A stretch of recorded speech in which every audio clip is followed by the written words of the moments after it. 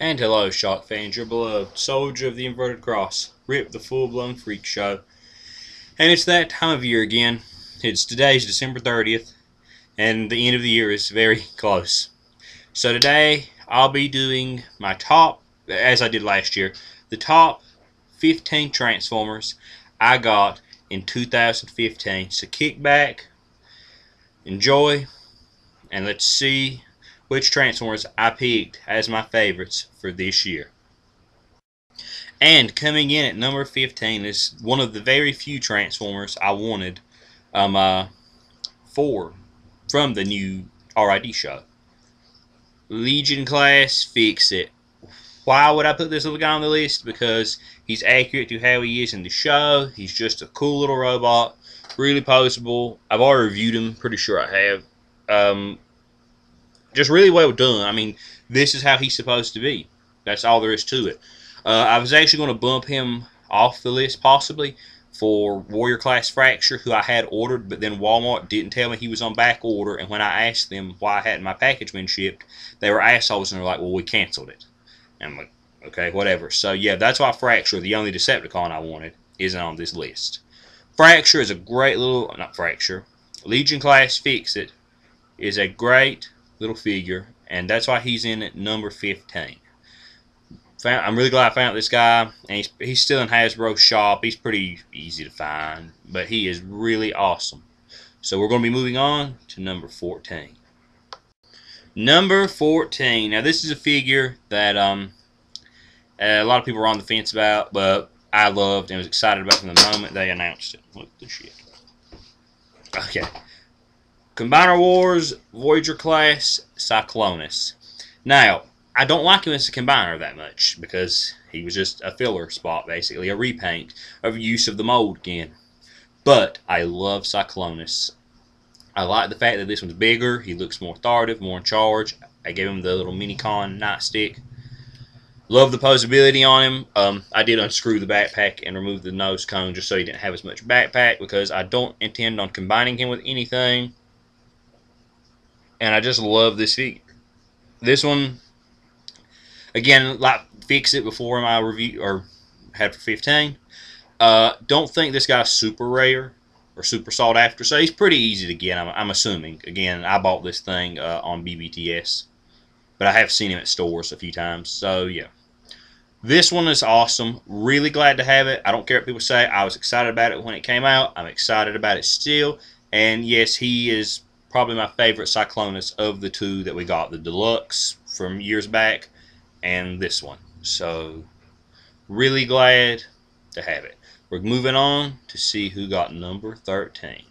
Coming in at number 13 was a figure I thought I'd never have due to the fact that it was just so hard to find online complete unless you buy it in box, which is uh, extremely expensive. Transformers RID Megatron. I love this figure. It's freaking awesome. It's probably one of my favorite Megatrons, and the one I use like as powered up Megatron with my uh, powered up Optimus. Uh, just really nice. Love the chrome, the shiny things, the horribly gaudy colors, the dragon feeties. It's really poseable.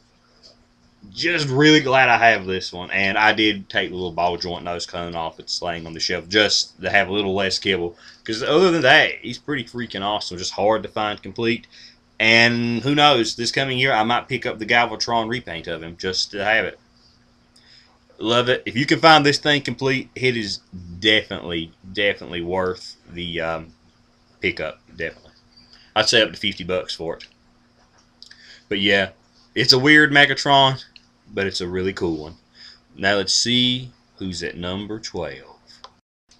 And number 12, coming in, uh, sleeping in barely because I just recently got this and I reviewed it. The custom leader class Galvatron. Thanks to the disappointment of uh, the Titan Wars one with the whole gimmicky head thing where it transforms. Sorry, I'm not a huge fan of that. Um, I picked up this guy in replacement of him. The guy did a great job painting him.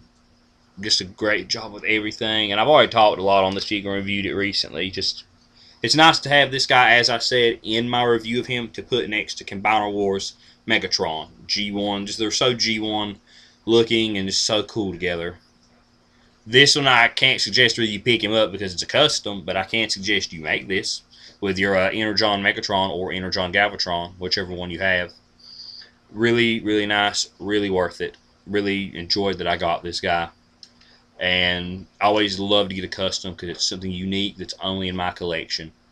So, let's see who came in at number 11.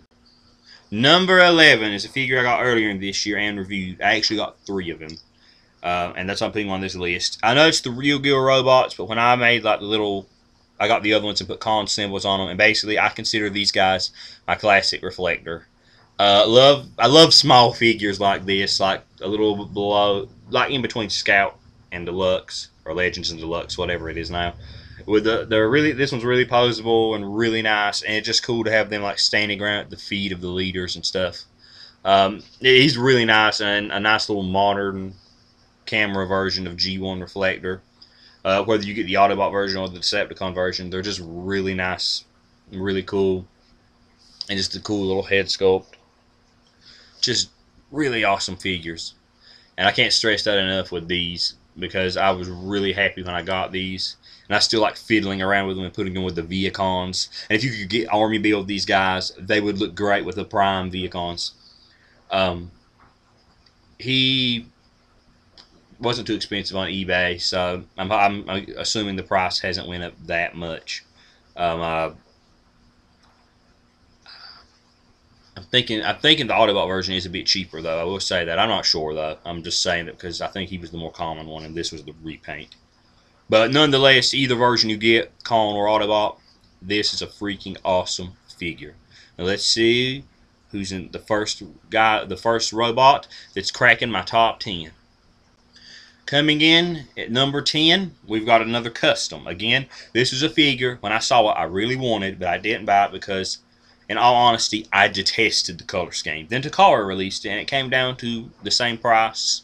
On Amazon, it came down to the same price as the American version. And that was Transformers Age of Extinction Leader Class Grimlock. But I did better. I got the custom on eBay. You've probably seen me review this guy. Uh, he's holding a sword from my spare Motormaster slash Menasor. Um, the colors on this just look better. He's a little more G1 colored. The eyes are red instead of freaking blue. What the hell, Hasbro? Uh, this looks awesome. He's posable. I know the spikes are supposed to be folded out, but I just leave them folded in to fill out the legs a bit more. Uh, I've got his weapons and stuff, and I haven't transformed him due to the paint. I don't want to mess the paint up but just this is a beautiful beautiful piece and the person who customized this did a really good job and this is pretty much the mega the, the Grimlock I use with my classics line even though it's the freaking movie one. I just like how he's bigger than the rest of them and very well done with the metal wash the gold the red. Just I love the fact that he reminds me of Shredder. I think that's why I love movie Grimlock so much. He looks like he has Shredder armor on. So since Grimlock cracked number 10, let's see who cracked in at number 9. Number 9 was a, is a figure that I've wanted since I started collecting Transformers. Um, now this is the Black Arachnia version, but it wasn't super close to our color scheme. So yeah, I consider this one my Tarantulas. This is who I use as my Tarantulas. And I love this one. Now I keep the feet folded like this just to make him a bit taller with the other Beast Wars guys I got. Um, this thing's awesome. For as old as it is, it's still really posable with a ball jointed head, shoulders, and hands, uh, ball jointed legs, and um, knees. It doesn't have a thigh swivel. That's basically the one thing it's missing that it would need to be close to the modern stuff. But I love this figure. I loved Tarantulas. Him and Inferno were my two favorite characters from that show from Beast Wars. Um, and really, if you can find this mold, more as tarantulas than Black Arachnia, it is definitely worth it. I, I, have a hard time imagining how classics, other than adding more articulation, how uh, generations, classics, whatever, will give us a modern tarantulas because this one was, as far as I'm concerned, almost perfect. So yeah, I, I'm a huge tarantulas fanboy. So who? Let's take a look at who cracked in on number 8. Coming in at number 8 is actually one that wasn't going to make this list because I was actually planning on uh, having Bruticus, Combiner Wars Bruticus at this time, and he would have been placed much higher on this list since Bruticus is my favorite combiner. But I wanted to get one Combiner Wars combiner on this list, and that's Cyber, not Cyber, Transformers, Combiner Wars, Menasor. Now I love Combiner Wars, what they did with the line, and I mistransformed mine purposely, be it just even more articulation. Um, I love the fact that you know they finally got it right and gave us a Voyager with limbs that are deluxes. Now nothing's perfect. Each of these combiners all have their flaws, but I'm happy with this than dumping out a ton of money for third-party figures, which probably are better, but I'm not dumping out three and four hundred dollars on figurines. This pretty much scratches the itch I had for some combiners and it fills in that gap that we had. And I am dying to get Bruticus on my hand, in my hands. When I make next year's New Year's video, you can be damn sure that Bruticus is going to be very high on that list. Because when I get him, it will be 2016. So he'll be the, one of the first ones that I buy next year. Menasor is worth the pickup if you have if you're willing to run all these guys down. I am using the Wild Rider or Wild Rider leg. Um, these are pretty posable. Uh, they have a bit of balance issues sometimes, but mine, I'm really happy with it. And he's the only combiner I've completed of the deluxes and the Voyagers. So, now, let's see who we got at number, because I've lost track by counting this down, number 7. Are we moving on to number 7, guys? Coming in at number seven was a figure I got for Christmas, and I think the only Transformer I got for Christmas. And it was one I was excited about since launch, so I haven't had time to review her yet, but I have reviewed the mold. Takara Legends Deluxe Class Slipstream. I gotta say, as always, I'm scared to play with this figure or pose this figure a lot because of the just it's such a small figure, and I'm especially this one being uh, Japanese exclusive and clear plastic for the back of the head. Why, guys? Clear fucking plastic? I love this figure. I love this character. And this one is light years ahead of the freaking club exclusive we got painted from Starscream. I don't care if he had high heels for feet. He still didn't have a feminine looking body. He was a hunched over, pointy chinned, creepy Igor Starscream. And I love that Starscream, but not as my fembots. This one is beautiful. Her face, everything, and I will go into more detail with her uh, when I actually review her. But good lord, I love this thing. Just the paint, the colors. Buy this. Buy this right now. I, I wasn't inclined really, or it didn't really just appeal to me for the Black Arachnia or the Nightbird. But Slipstream, when I seen it, I was like, yep. Because when I first seen the Windblade mode, I was like, that'd make a freaking awesome Slipstream with a bit of remolding. And it looks really good. I mean, amazingly good. Just go buy one. Don't even take my, don't even bother like looking at this. Just buy one. It's a beautiful figure. So now let's take a look at number. I keep losing track. Sorry about that. Number six. We're moving on to that one. Number six, guys. And here we are at number six, the last robot before the top five. Uh, and like I said, I didn't really litter the list with um, individual Combiner Wars guys, but there was one figure that I loved, and I'm so glad that they made Wild Rider to or Breakneck as he's called now to combine with Menasor because I was going to go buy a second Offroad. I love Offroad. I know he's the new member, and a lot of people didn't like that or whatever. But I, as far as that goes, I just love, as I've said several times, a good vehicle land-based Decepticon the head sculpt, the just everything. I gave him the crow, the pipe to beat people with from uh, Dead End, but it, he came with the axe. But he's posable. He's cool looking. He's got a good aesthetic to him. The backpack works well for him. Just really cool. The colors are beautiful. I love the. I never thought I'd like blue with grayish black with uh, red, but good God, this thing is awesome. If I if they ever make like him playable in a video game, I want this is the body chassis I would use because I just love the look of it. I love the vehicle mode. It's just awesome. Even if you don't buy another Combiner Wars toy, This guy's the deluxe to go for as far as I'm concerned. I did like Dead End. He was awesome, awesome deluxe, but I just love this one appeals to me so much more because when I think of the other Stunticons, I think of them as a unit combined as one. This guy just looks like he's kind of like reminds me of Barricade. He was golfing his own and kicked some ass. So this guy was number six. We're cracking in to the top five best. And coming in at number five, finally there, the top five. Let me just say, if I haven't already said this, I might have. This was a year of getting things for my collection, just like Bionicles, Transformers, big ass Godzilla, just things, Transformers too, that I didn't think I was going to be able to find or afford, or just rareness of them, or just custom things. But Unicron from the Cybertron line, I think that's what he's from. It might be Energon. He cracks the he takes the first crack and goes in at number five. Love this thing. Mine isn't complete, but it's close enough for me. It's big, it's heavy, it's posable. It's got a cool light up feature. Uh, there's a cool gimmick on the back here, but I don't have a mini con at the moment to activate it. The head does move. Just going to say that because so many people are like, your head doesn't move, but it does. And this guy always looms over my Transformers now, just staring down at them. It's a beautiful figure with the posable fingers. I have him giving the finger all the time, holding other Transformers. Go hunt this thing down. Buy it. It is worth it. Eh, the gimmick I, I was talking about, his chest splits up and a massive gun comes out. His stomach opens. He has panels to cram crap in. You can put all your pennies in there. You know, you can fill it with yogurt. I mean, it's freaking Unicron. Go buy Robot Satan right now.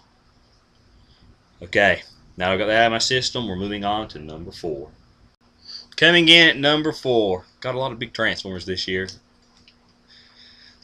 Combiner Wars G1 IDW Megatron. I know this thing's flawed and it has its issues. I love it. I love it so much. I might buy upgrade kits for this if they ever go on sale on BBTS. The head sculpt's beautiful. Uh, I don't connect these pieces on the back together just so it has the waist swivel. Um, glad we, Hasbro gave us a G1 Megatron. I like the tank mode. It doesn't bother me. I'll never thought it was, you know, that effective to turn into a freaking pistol. So you could let the guy who is least trustworthy, Starscream, wield that said gun. He could easily just thrown Megatron off a cliff. Um, I like the fact that he's a tank. It makes perfect sense to me. I love the way he looked in De Transformers Devastation. And that's pretty much this look. Um, he's worth it. He is worth the money. Go buy one. Um, there's an Armada repaint, I think, or I can't remember what series that Megatron with the horns is from, but I might even get that. But this one I love.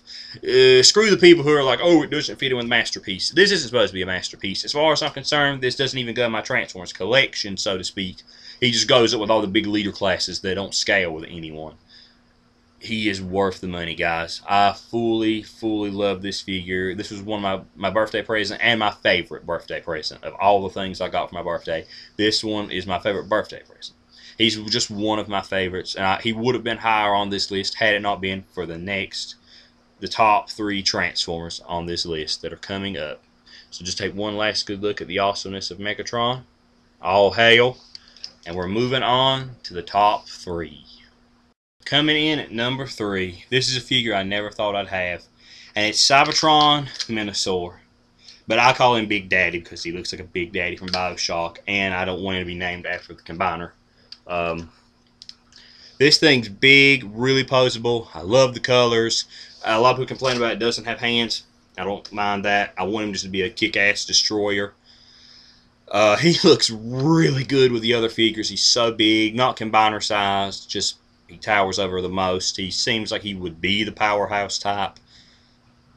I really never thought I was going to get this thing, and I think I won it on bid. I forgot like how much for. I just remember it being like I just remember going out and be like, up. when I get home, it's probably like, oh, you lost, and it's like, oh, you win the you win the bid, and I'm just like, wow, I finally get this thing after all this time. It's such a good figure, guys. I really, I know a lot of people are on the fence about this one, controversial about this one, or whatever they want to say. I love this toy. This is one of my favorite, favorite Transformers that I own. And he would have been higher on this list hadn't it been for two more Transformers. So let's go ahead and take a look at number two. And here we are, number two. and fitting a fitting number since we'll be looking at Megatron's second in command. Cybertron Galaxy Force Starscream. This is the Toys R Us exclusive one. I got it on eBay. It was missing the gun and the kibble, so whatever on that. Um, I bought it for robot mode. I gave it Sky Shadow, Generation Sky Shadow or Black Shadow weapons. I never thought I'd have this one just because the fact that they were so expensive, but uh, because of them being a Toys R Us exclusive in a two pack. I was trying to get on this side. I'm not used to mirrored effect, but um, I love this figure and I'll be reviewing him soon because uh, I haven't got the chance to review anything lately. But he will be reviewed along with all of the other Transformers on this list. But down to business. I got the Dirge mold last year and I think it was on this list. But I always wanted the Starscream one more just to go with my classics collection. And this fills it out because I made that custom Shockwave. I painted my classics Megatron to be more G1 accurate. Uh, I pretty much have the Soundwave I want for for the, the classics lineup. Um, Starscream was all I needed, and I'm so happy with this one. This is a beautiful, beautiful figure. If it had bicep, bicep swivels, it would have probably taken the number one spot. Now, before we do move on to number one, I'm going to do a few honorable mentions. So yes, it, this is figures worth it. If you get it as Dirge, Starscream, or whoever you get it as. Um, we'll be moving on now to the honorable mentions. And here we are, the honorable mentions. Now, I've actually got more figures than these four. I think four I'll be showing. But these were the four that really impressed me. I really wish I could have put them on the list, but it, going in with the you know 15 I got this year, they couldn't make the list the Cybertron Metroplex. I love this figure. I, I wish I would have gotten Generations Metroplex back when he came out. But he's so expensive now. But this one works just fine. He's pretty cool. And I, really posable, really nice. Loud ass ratchets. I, I love this. I wish he could have made the list, but as I said, the numbers. The next one that I'll be showing is one I recently got and haven't even gotten around to reviewing. And I actually like this guy. He's a repaint. I've always liked this repaint slash remold over the original, and that's Legends Chop Shop. Um, I don't know why I always preferred him to Shrapnel, even though Shrapnel's black and purple. Uh, I'm not a huge fan of orange, but I like red. So I just I think I like the head. Uh, I'll get to reviewing this guy. He's really good. Um, and the other ones I got this year. Uh, yeah. Uh, this one was basically what I who I used for my uh, Beast Wars animated Terrorsaur. Uh, it's the Transformers Adventure Swoop. I gave it a con symbol, even though it's not showing up with the crap. Um, it works well enough. It's red and black. You can't go wrong with red and black. And the last figure is uh, one that I there's as I said in his review, there's no freaking excuse that we didn't get this in America. Age of Extinction Stinger. As always, I like a good car bot. And this guy's a good car bot, and thank crap he was. It was a good Bumblebee toy, but it's Bumblebee, and I will never buy that idiot again, other than the one time I bought him, unless it's a Decepticon version or something like that. But yeah, he is an awesome, awesome figure. He's red and black. You can't go wrong with red and black. So now that the honorable mentions are out of the way, we're going to get number one, guys. And here we are at number one, and I think all along we knew who it was going to be. It's the figure I dumped the most money into this year. The one I was the most excited and disappointed about when I saw the pictures. When I got it in hand, I was blown away at the awesomeness of it. And that is Combiner Wars Titan Class Devastator.